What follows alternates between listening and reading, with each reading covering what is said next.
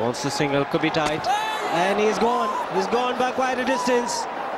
And Dravid will be the man to depart. West Indies are in a commanding position with this superb piece of fielding.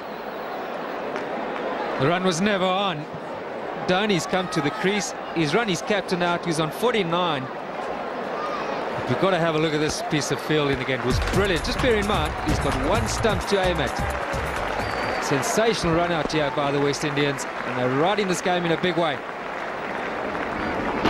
Not even in the picture. He's the quickest fielder in the West Indies team, Dwayne Smith. And West Indies realise the importance of that wicket. Dravid gone for 49. It's 131 for 5. Happens as well when you've been off strike for a while. Dravid hasn't seen it for almost two overs.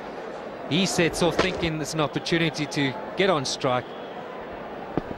And uh, trouble in the end. Just looking from that angle, run was never on. Oh, Dravid did have the right to send him back, but he set off immediately. Great fielding.